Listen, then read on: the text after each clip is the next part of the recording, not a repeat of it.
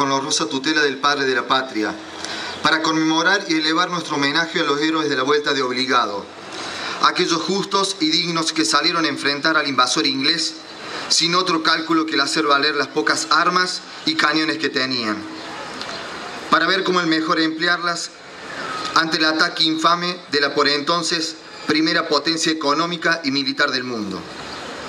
Y vaya si lo hicieron, con cadenas de costa a costa del río Paraná, arteria vital de la patria, con un entusiasmo y entrega que alguna vez supo inflamar los corazones argentinos e iluminar la razón de nuestro pueblo. El invasor británico pudo comprobar en su carne y en su flota lo que se podía lograr con los dientes apretados, la decisión resuelta y la cosa de varón bien ubicadas.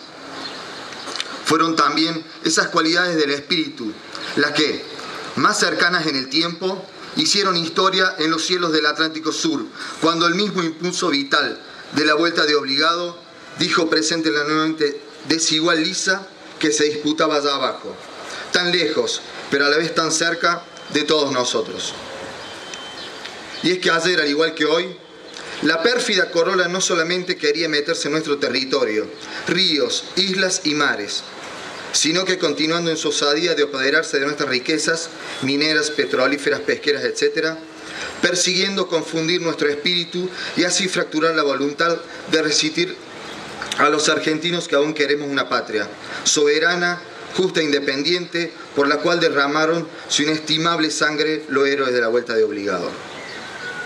La soberanía no es para nosotros un artículo al uso que se pueda emplear, como convenga al gerente político de turno, ni tampoco un utensilio semántico para ocultar en las brumas del engaño electoral la traición y la entrega de la patria.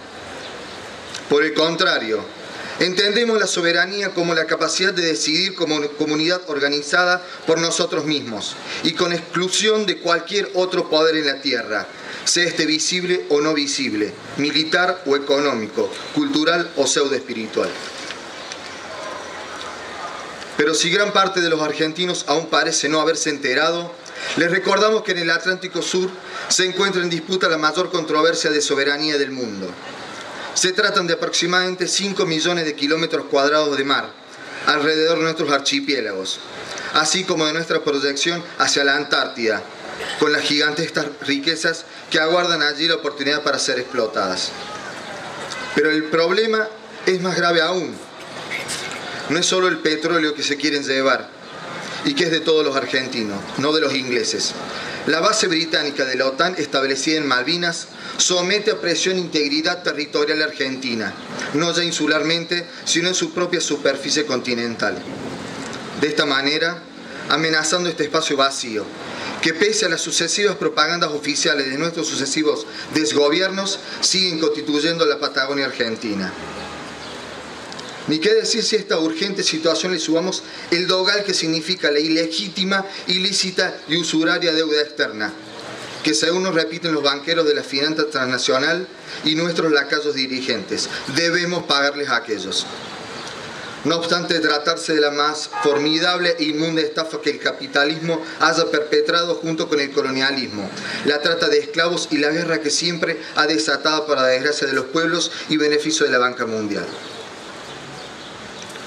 Es ante tales desafíos que la sangre de los héroes de la vuelta de obligado debe fluir por nuestras venas e impulsarnos otra vez a luchar y triunfar en las verdaderas batallas, las que libramos día a día ante las desde los talleres y aulas, desde los lugares más recónditos de la nación o de sus urbes más celebradas, desde la edad transitada de la vida o desde la juventud prematura y vital. Pero nadie, reitero, nadie debería dejar de reflexionar respecto al futuro inmediato de la Argentina y la ausencia, de una soberanía operante en la construcción de un destino. No es pagando una deuda ilegítima, ni destruyendo el federalismo, ni propagando la discordia general, ni nombrando ministros extranjeros, ni entregando nuestras riquezas, habremos de derrotar al enemigo.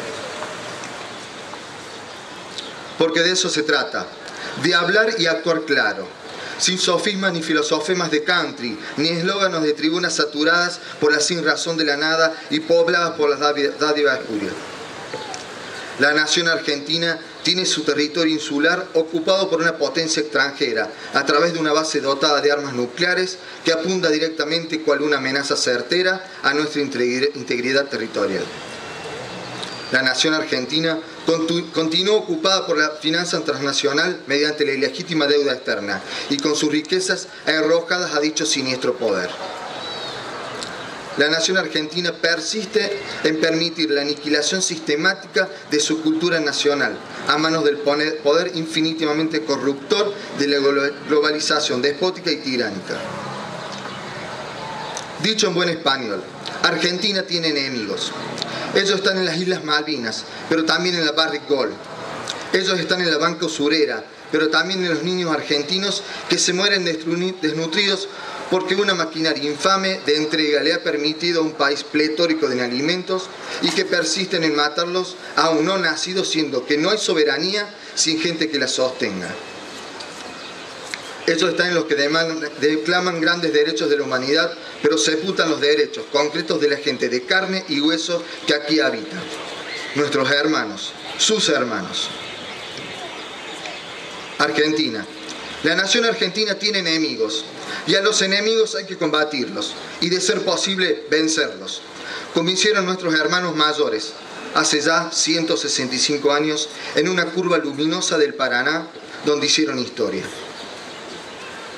Hagamos pues nosotros historias y digamos no al invasor imperial, con unidad nacional, con justicia social, con la soberanía estallando en todo nuestro ser. Dios por testigo, que así sea. Viva nuestros héroes de la vuelta de obligado. Viva la patria. El aplauso.